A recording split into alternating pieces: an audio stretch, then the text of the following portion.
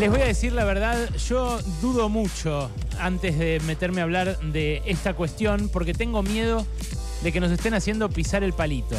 Tengo miedo de que sea otra bomba de humo, como me parece que fue la pelea con Lali Espósito, de un gobierno que está llevando adelante un ajuste muy brutal, muy cruento, de manera muy veloz, casi sin que sus víctimas se den cuenta.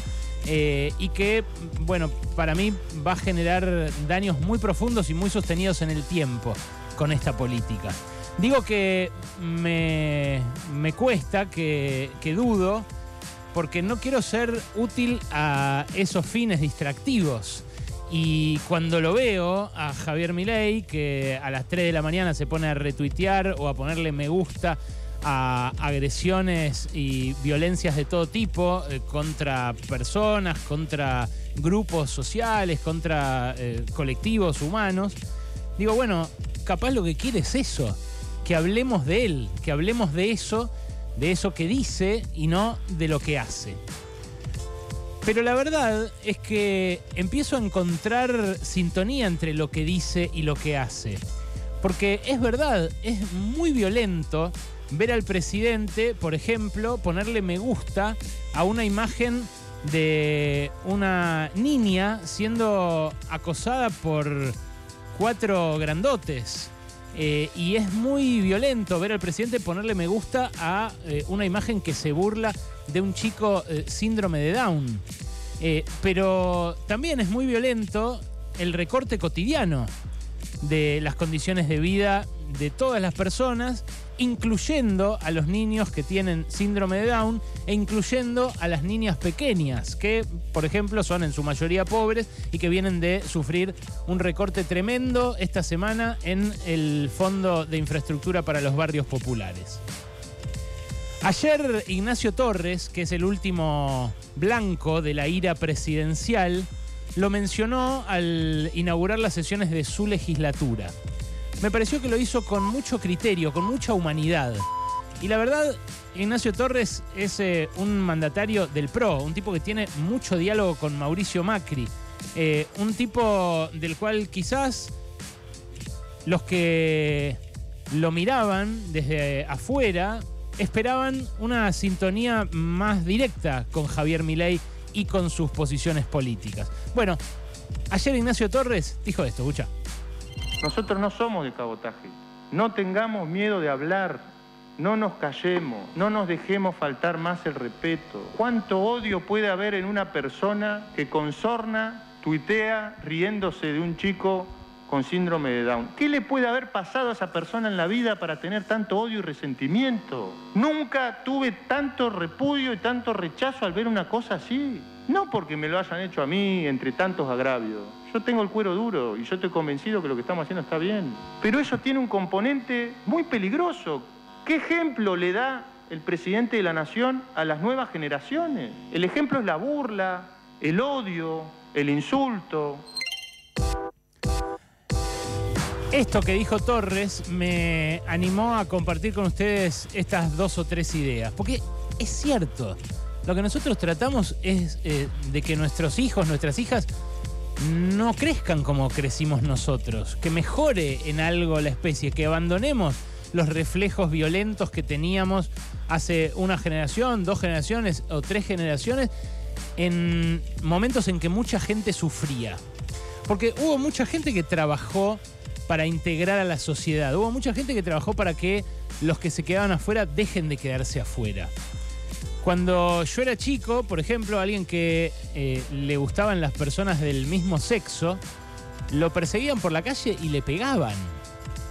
Y eso tenía que ver con la violencia simbólica permanente de el que gritaba puto en la cancha eh, todo el tiempo, o los que se decían entre sí, trolo, puto, y ese, y ese tipo de insultos vinculados a la orientación sexual. Y hubo mucha gente que trabajó para que eso deje de pasar. Del mismo modo que eh, hubo mucha gente y mucho dinero también puesto, recursos, en trabajar para que dejen de ser discriminados los que tienen una discapacidad. los discapacitados eh, durante mucho tiempo sufrieron violencias mayores que las que sufren ahora, que siguen sufriéndolas, obviamente. Y cuando Milei se burla de un síndrome de Down, no solamente expresa una crueldad tremenda y habilita en términos simbólicos que otros se burlen también de chicos con síndrome de Down, con lo cruel que es eso. De verdad, ¿eh? eh créanme, yo eh, he, trabajado mucho en eh, mi lenguaje, en cómo hacer para comunicar sin lastimar, sin herir, sin dejar afuera y nunca terminás, porque por supuesto eh, hay que aprender y formarse para hacer eso, pero lo hago con el deseo de que el mundo sea mejor en la próxima generación, de, que sea como dice Torres, ¿no? Un ejemplo para las próximas generaciones. Y un poquito, eh, a veces lo, veo, lo veo eh, en mis hijos, ¿no? mis hijos nacen libres de odios que nosotros traíamos como preseteados, odios, desprecios, eh, formas de menospreciar. Eh, tienen completamente naturalizado, por, por ejemplo, eh, que chicos con distintos niveles madurativos o con capacidades diferentes en el plano del aprendizaje vayan a la escuela con ellos. Y saben que en esa convivencia también se pueden enriquecer cosa que habría sido impensable hace 40 o 50 años, cuando estaba aceptado y normalizado que alguien se burle o que le diga mogólico a otro, como hace ley. Entonces, cuando pienso, capaz nos están distrayendo, capaz nos tienen hablando de esto para que no reparemos en el ajuste. Por otra parte, pienso, esto tiene que ver con la violencia material que implica cortarle los medicamentos a un chico que padece una enfermedad crónica, una enfermedad degenerativa, una enfermedad congénita o una enfermedad terminal tiene que ver. Porque la violencia es simbólica, es cierto, y podría ser un distractivo para todas las violencias materiales que ocurran contra todo el resto de la población. Pero también hay violencia material contra aquellos que son objeto de esa violencia simbólica.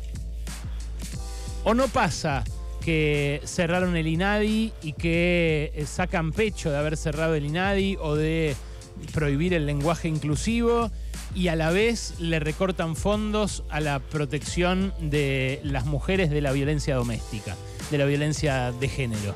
¿O no pasa que a la vez que victimizan, que eh, tratan de negros, de orcos, a los pobres les sacan los fondos que había para el programa Mi Pieza o para la infraestructura en villas? Me parece que una cosa tiene bastante que ver con la otra. Y por eso es cierto, es inaceptable que el presidente se refiera eh, con este nivel de violencia a nadie, ni a un gobernador, ni a Dali Espósito, ni a Silvia Mercado, ni a María O'Donnell, ni a todos los eh, que padecen síndrome de Down en Argentina. Pero tampoco es aceptable el ajuste en términos materiales eh, que tiene como correlato esa violencia simbólica. Y me parece que una cosa tiene mucho que ver con la otra. Solamente que de una cosa cancherean en las redes sociales y la otra la ocultan porque saben que a la larga esa la gente se las va a cobrar. Pasaron cosas. Cosas. Hasta las 16 con Alejandro Berkovich. 89.9